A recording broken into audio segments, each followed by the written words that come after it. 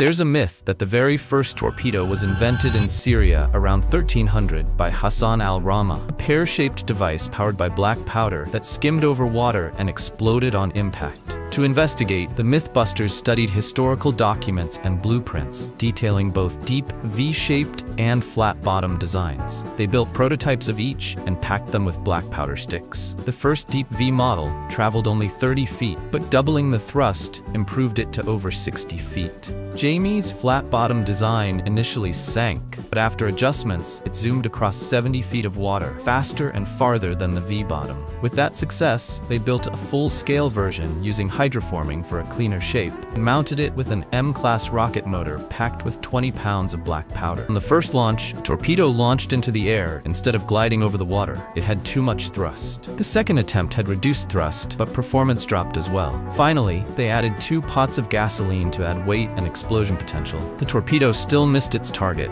soared through the air, and exploded. Not like a torpedo, but more like a cruise missile gone rogue. So was this ancient Syrian invention a torpedo, or just the medieval prototype of a missile? Subscribe.